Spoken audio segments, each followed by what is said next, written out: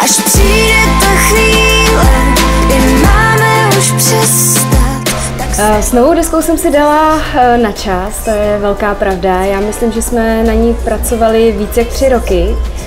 A samozřejmě ten čas od eh, Alba Schody z nebe je poměrně dlouhý, to je zhruba nějakých 6 let.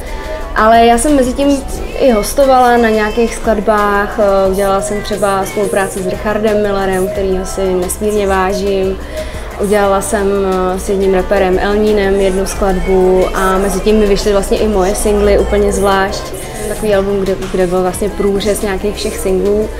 A hlavně mám pocit, že vlastně interpret si taky potřebuje nějakou chvíli oddechnout a věnovat se jakoby soukromým věcem a tak nějak se jakoby připravit zase na tu, na tu část, kdy začne, začne zase pracovat na další desce. Takže i nějaký jakoby odpočinek a stihla jsem se vdát a cestovat po Americe a tak různě. Takže stihla jsem toho plno, ale hodně jsem se prostě věnovala i soukromým věcem a občas um, nějaký ten single a hlavně jsem vystupovala, takže jakoby muziku jsem neopustila, ale je pravda, že ta, ta proluka byla poměrně dlouhá.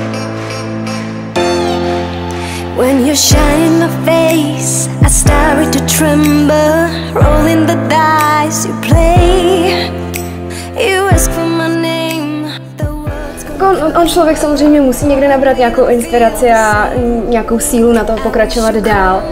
A mm, samozřejmě ten svět kolem vás, který, se, který objevujete a posloucháte novou muziku a zase sledujete, jak se to jinak směřuje, tak, tak to je hrozně důležitý pro nějaký vývoj umělce. Despite my belief, Můj tým se uh, jakoby krapet uh, obměnil, nebo spíš, spíš Christnil, který vlastně mi složil hity, jako jsou Schody z nebe, uh, jako je Tepe srdce mý, nebo Přísahám, uh, tak v podstatě tohohle uh, Alba se zhostil ještě jako producent, což je vlastně novinka, protože u těch předešlých skladeb to tak nebylo, ty jenom napsal. A mm, mám tam třeba jednu skladbu s Grahamem Maršem, což je americký producent, který má několik Grammy a spolupracoval třeba se Seal Greenem nebo Bruno Marsem. Takže jakoby ta spolupráce se zase trošku vyvinula jinam a, a trošku i ten tým se vlastně jako rozšířil.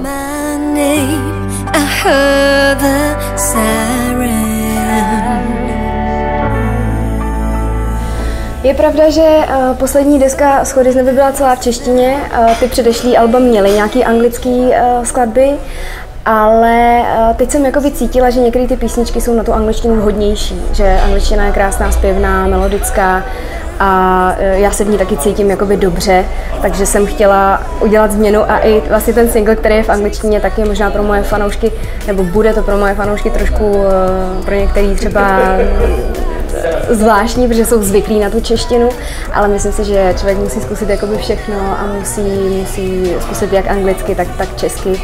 A dneska je tolik zahraniční hudby, myslím, že Češi jsou už na tu angličtinu taky zvyklí, takže to není problém.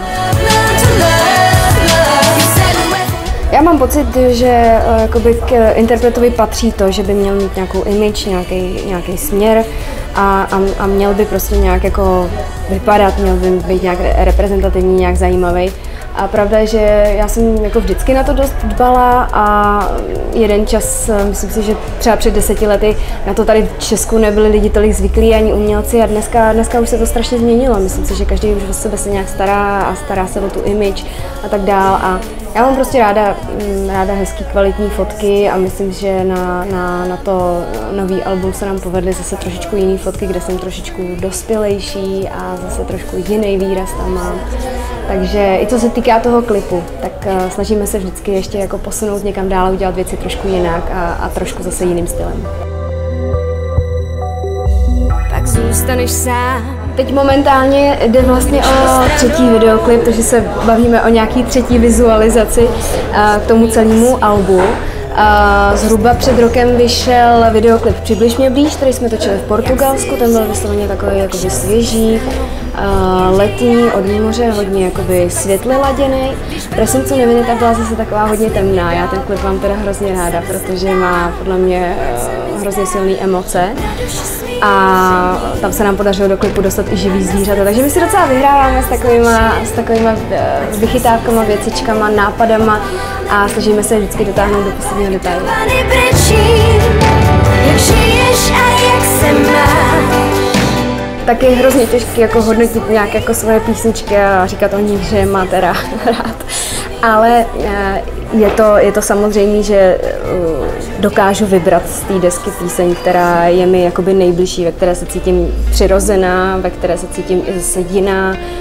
A je to třeba Emotion, písnička, kterou jsme vlastně, já si úplně vybavuju, jak jsme to natáčeli, když jsme se snažili zachytit uh, opravdu tu atmosféru, naspívali jsme to vlastně živě s kytaristou zaraz ve studiu.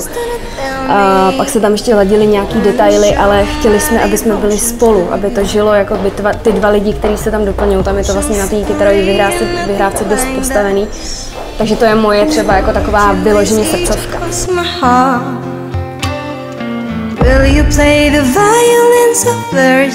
Taky si myslím, že eh, ta deska je dobrá, když si ji poslechnete víckrát, že, že ty písničky jsou mm, ne třeba tak jako by úplně prvoplánový, ale že, eh, že to chce si je vychutnat a víckrát je slyšet.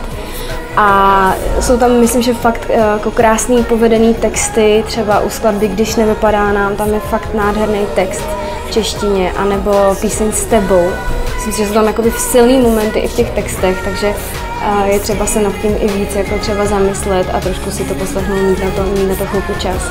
I když zase single třeba Commander je na, podle mého názoru naprosto bezstarostná píseň, která vás ničeho nenutí. Takže najdou si tam lidi to i to a já jsem hrozně zvědavá, jak se dneska bude líbit.